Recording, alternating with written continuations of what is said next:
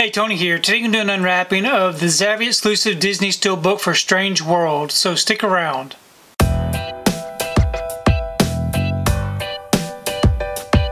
So I received my order for Strange World. This is the Zavvi exclusive Blu-ray Steelbook.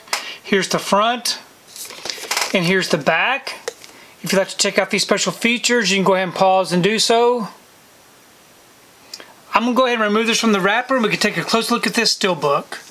Okay, got the wrapper off and the J card removed. Here's the front of the steel book. It is a matte finish, no embossing or debossing. And then here's the back. We open it up. It is a continuation from the front and the back. Really nice looking artwork. On the inside it does come with just the one disc the Blu-ray disc with no disc art. But we do have some inside artwork.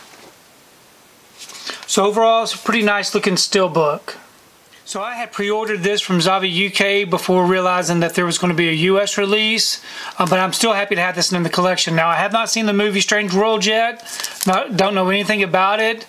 Um, really haven't heard much about it, which is probably a bad sign, um, but I'm going to definitely check this one out. Please leave me a comment below. Let me know what you think about this particular steelbook unwrapping, and also let me know what you think about the film Strange World, because I really do enjoy reading your comments. If you like what you saw here today, please give it a thumbs up and share the video. If you haven't subscribed to my channel, I really appreciate it if you would subscribe. If you do subscribe, please remember to hit that notification bell so that you can be notified every time I upload a new video. If you haven't found me on my social media accounts, I'm on Instagram, TikTok, and on Twitter. And if you'd like to find out what I've been watching, you can find me over on Letterboxd. I do have links below. But thanks again for watching, and we will see you next time.